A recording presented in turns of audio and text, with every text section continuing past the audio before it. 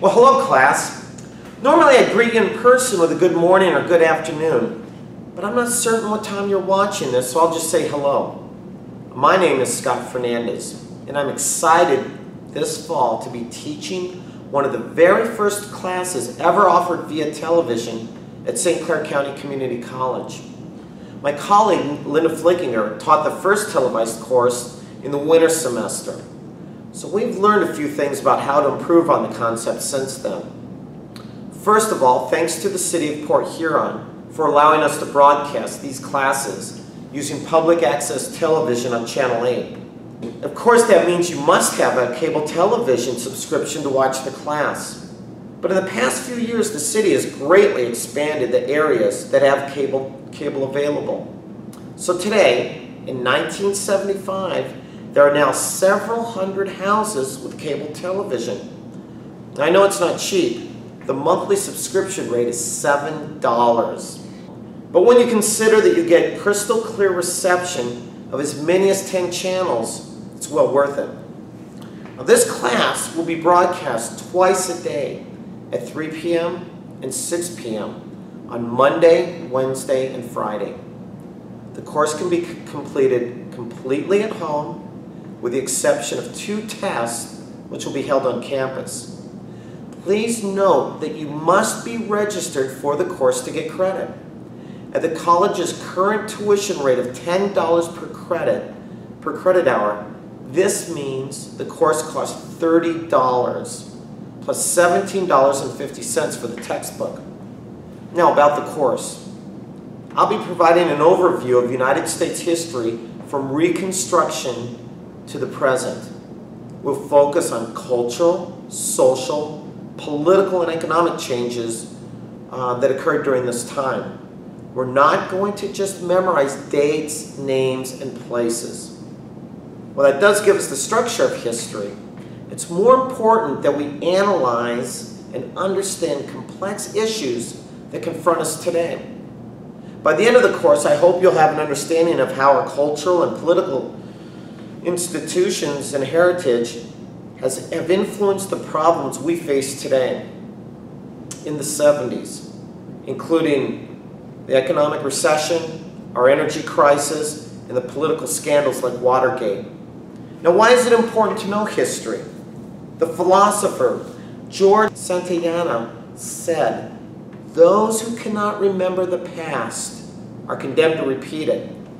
It's my hope that by knowing more about our history and how it affects our current cultural and political institutions, your generation can make better decisions that will allow our country to avoid making the mistakes of the past.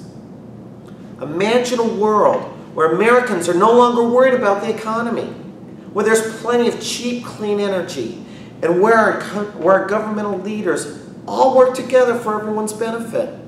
These goals are reachable, and I hope to see them happen in my lifetime, even if I'm still teaching here at the college in 2013. So how do I plan to teach this course over television?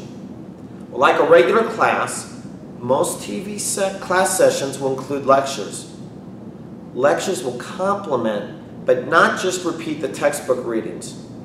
Of course, you won't be able to talk directly to me, which is unfortunate the, the technology to allow you to talk back directly to me over the television hasn't been perfected yet, though there have been some experiments in Columbus, Ohio um, that do look promising. Perhaps someday there will be a way for students to record their own films and make them available to the rest of the class. It could be called uh, UTV or something like that. Now, that's a good idea. I think I'll have to write that one down in a few minutes. Okay, today or tonight's lecture, or our lesson, is on the Gilded Age. Um, Mark Twain called it the Gilded Age, uh, called the late 19th century the Gilded Age. Uh, the late 19th century was a period of greed and guile, of robber barons, unscrupulous speculators, and corporate pirates, of shady business practices, scandal-plagued politics, and vulgar display. During the Gilded Age, Every man was a potential Andrew Carnegie. And Americans who achieved wealth celebrated it as never before. one popular Manhattan restaurant regularly hosted formal horseback dinners.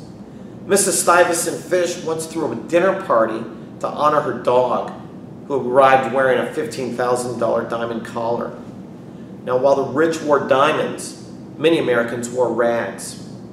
Millions of American families had incomes well below the poverty line. Rural Americans and new immigrants flooded into the urban areas. Americans had sewing machines, phonographs, invented by Thomas Edison in 1877, by the way, skyscrapers, and even electric lights. Yet most people labored in the shadow of poverty. Much of the nation's wealth was concentrated in just a small percentage of industrial owners and investors. Fortunately, the rise of the middle class after World War II alleviated much of that economic inequity.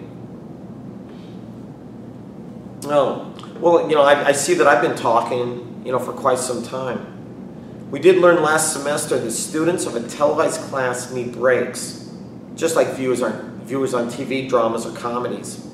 So I'm going to take a brief break.